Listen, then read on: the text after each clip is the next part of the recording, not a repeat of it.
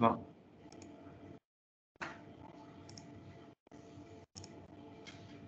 Em làm app về à, làm uh, uh, luyện trắc nghiệm về uh, kiến thức về uh, về lập trình ạ. Em làm khá là đơn đơn giản sơ sài.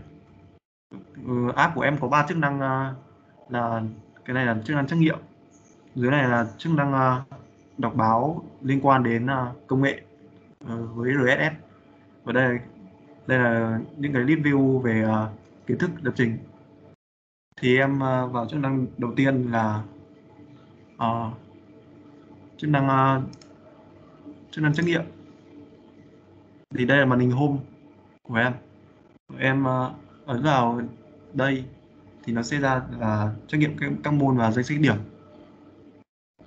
Trắc nghiệm các môn thì em mới tạo được uh, cơ sở dữ liệu em em tạo rất là thủ công. Em uh, dùng SQLite em uh, copy từng câu vào một vào ờ, vào một thế là nó rất là lâu em em mới tạo được này đề thôi.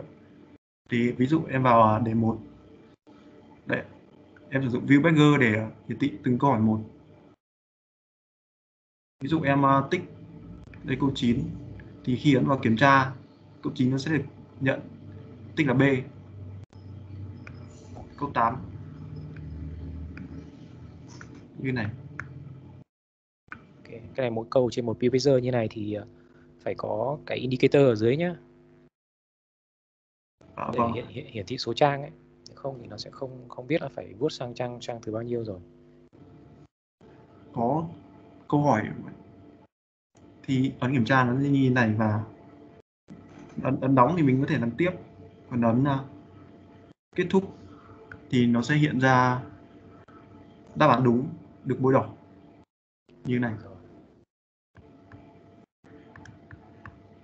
Và ấn phần xem điểm thì nó sẽ hiện ra câu đúng câu sai câu chưa trả lời và tổng điểm. Mình muốn lưu điểm thì mình gõ họ, họ tên của mình vào. Rồi ấn là có. Thì khi mình vào à, danh sách điểm nó sẽ hiện ra điểm của mình. Em thì làm như, như vậy đây là chức năng đầu tiên đấy là chức năng về kiến thức thì em tạo được cái review như thế này. Em chưa em có thể tạo được nhiều hơn chỉ copy vào thôi là tạo được nhiều hơn. Ví dụ vào lập trình đối tượng thì mới ra như này. Thì kế thừa đa hình trừu tượng. Mỗi một cái mục mỗi một cái này là một cái bài viết đúng không? Vâng chỉ mỗi mục này là một bài viết đây cấu trúc dữ liệu thì bảng ngăn xếp queue link list cây hash như này em có thể làm uh, cho thêm hình ảnh vào cho nó nhìn cho nó đẹp nhưng mà em kiểu chức năng em em kiểu sát sát mới làm cho nên chưa chưa kịp. Nhưng Đấy. mà vấn đề là nó nó có khả năng cho được vào đúng không? À, vâng bị em cái activity em chỉ uh, thêm ảnh vào xong rồi thêm thêm ảnh vào mình uh, cái đặt cấu trúc ảnh vào và mình set set set text cho nó là là là được. Không, không. từ từ từ đã. Anh anh tưởng cái chỗ này là là dữ liệu của database. À không cái này em thêm thủ công anh ạ. Database em dùng trách nhiệm rồi anh. À, à thêm thủ công tức là cái dữ liệu mình đang viết cứng ở trong code à? Vâng cái cái này là array anh ạ. List à rồi cái okay. này là list em có vào cái code nó dài thằng dạng luôn. List thật ra thì cái cái cái phần nội dung bài của mình ý, em có thể để là HTML mà sẽ để một cái web view ở trong đấy. Thì nó có thể show HTML lên. Em em chưa hiểu mấy lắm ạ. Bởi vì em em mất khá nhiều thời gian để tìm hiểu về database database em chưa học chưa học ở trong trường thế là em bỡ ngỡ lắm à. Thế... em mất vài tuần để tìm hiểu. Ở chức năng về này thì em chỉ, chỉ làm được như thế thôi. Ở chức năng RSS thì nó rất là cơ bản như này. Có ảnh bài viết từng bài viết đây. Màu này em thêm đại, đại vào nó hơi, hơi xấu một tí. Ví dụ ở viết này.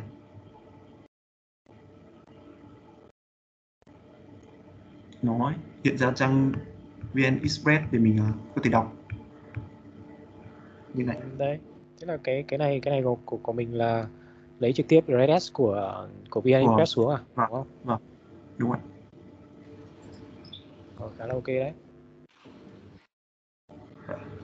Đấy. App của em gồm ba chức năng gì?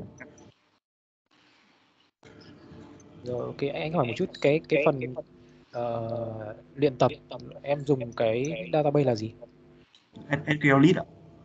À rồi SQLite. Tức là ở đây là cái app của mình là hai cái phần có hai phần luyện tập với lại cái phần uh, uh, tin tức cơ bản công nghệ đúng không? Cái đấy là hai hai phần này là phần offline đúng không? Nó không không liên quan đến mạng đúng không nhỉ? Uh, vâng. Còn có cái phần cuối cùng là uh, cái RDS thì cái RDS tin tức à đâu đúng không? RDS là cái phần thứ hai đúng không? Vâng vâng. Thì cái phần này là nó lấy trực tiếp từ RDS của các cái trang báo gì? Vâng. Thì là phần này là phải phải có phải có mạng thì mới chạy được này. Vâng đúng rồi. Rồi ok thật ra thì cái app này mình vẫn có có khả năng mở rộng và phát triển lên mà tức là vâng.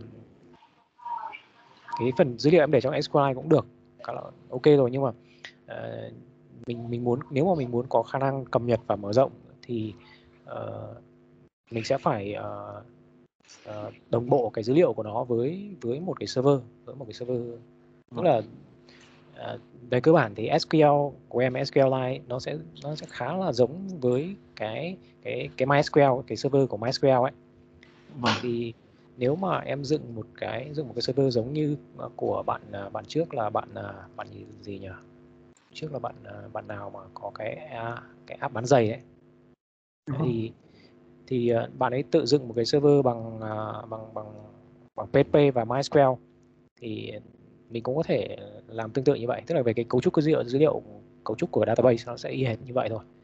Nhưng à. mà nó sẽ cho cái app của mình có cái khả năng là có thể cập nhật online được cái cái câu hỏi. Đấy. Thì sau này ví dụ app của em đăng lên rồi nhá sau đó người dùng người ta có thể người ta có thể dùng tải về dùng rồi thì cái câu hỏi nó sẽ được cập nhật từ phía server từ phía tức là mình mình sẽ có thể đăng thêm và tự thêm được câu hỏi vào chứ nó cái số lượng câu hỏi hay là cái nội dung câu hỏi nó sẽ không cố định nữa. Thế tức là sau này dần dần với cái cái gọi là cái, cái thời gian ấy, thì mình có thể cập nhật và có thể bổ sung thêm câu hỏi cho app.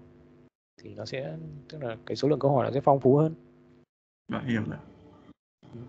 Cái app của em thì chủ yếu là nó về cái việc cung cấp thông tin với lại cung cấp gọi là app như app của em ấy nó gọi là app content. Đấy, vâng, vâng. content là về cái cái cái nó nó thiên về cái việc là cung cấp kiến thức và cung cấp thông tin thì, thì mình có thể ờ, làm đẩy mạnh về cái phần đấy. Có nghĩa là phải cho phép ừ, cái cái thông tin của mình nó nó giá trị và nó thú vị.